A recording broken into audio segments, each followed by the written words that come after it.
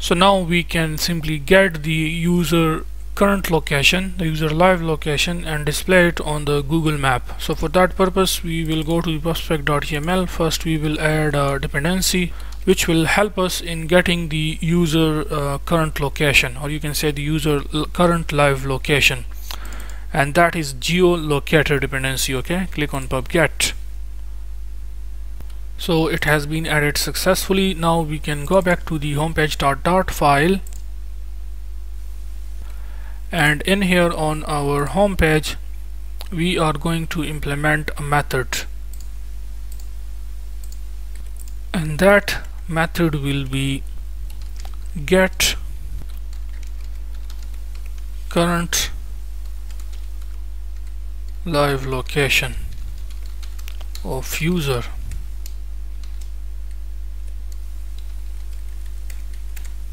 so we can get the position of the user. And we will give it name as position of user. And how we can get? First we have to make this method asynchronous as we will wait for the response. I mean to get the user current location. So geolocator dot get current position and we can set the accuracy desired accuracy location accuracy dot. Here we have uh, multiple options like best that is the accuracy of the location what we want. You want high best for navigation best lowest medium reduced. So for example as it is the ride sharing application like uber so either you can proceed with high or you can proceed with best for navigation. Okay? So what we did here we get the user uh, current location and we assign it to this position of user. Basically the current location simply means the position latitude and longitude.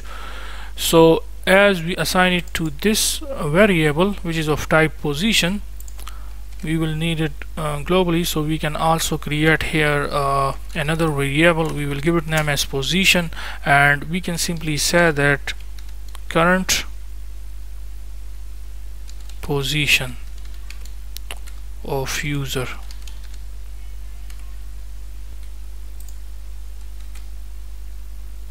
And what we will do we will assign this position of user to our current position of user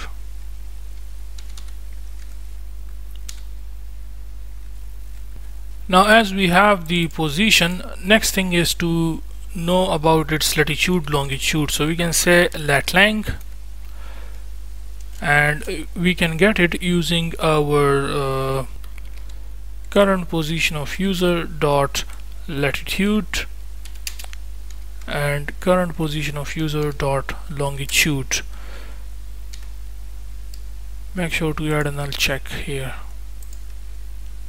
so we have the location now in form of latitude and longitude. As you know that when we want to display a position on Google map we need the latitude and longitude of a user. So that's why we convert our current position of user to latitude and longitude. And we will now assign this to a variable. And let's give it name as a position position of user in latlang. Then next thing is using the camera position. Camera position. Camera position is basically when we want to set the location and animate uh, the camera on Google map to the user current position now how you will see it now okay? So first we will pass our position of user in lat latlang here and then comes how much zoom we want on the Google map. So you can proceed with 15 so now as we have the camera position also we can now display the current location of user on Google map. So we can say Google map controller Google map dot animate camera. And to this we have to pass camera update dot new camera position since we have the new position now. And that camera position is this which is the user new position. Okay so we will pass this camera position to it make sure to add a null check here. And yeah that's it. Now we have to call this method. So on map created here we can say get current live location of user.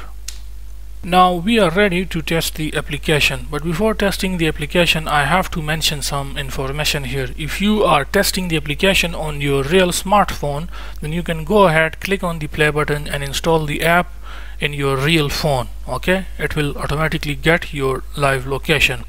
If you are using the simulator or emulator that is the virtual device like me okay I'm using the Android emulator.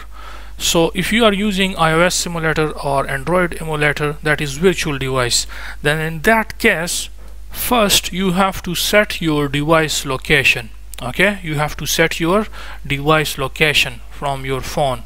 I mean from the uh, virtual phone okay? This is not real phone. You know that. If you are testing the application on your real phone it's okay. You can just go ahead click on the play button install the app on your phone and test the application. It will work okay?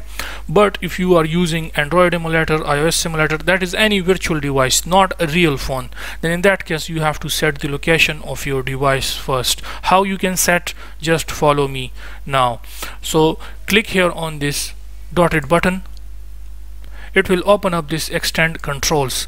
In here you will see the location okay? Which country or in which city you live you can type that. For example I will uh, like the place where I live. So I will just type my location. You see so I will just select my location okay? I live here now anywhere you live you have to just type your uh, city name or the place exact place. Even it can show you the exact place. For example street or any location okay for the testing you can choose. It is totally up to you guys okay whatever you like. So anyways just search the place name here that is where you want to display uh, I mean the current location on this uh, virtual device on this emulator okay? And once you search that location it will show you this marker then click on set location button okay? Then click on set location button. So now if I test the application then it will show me my real location that is which is set for this device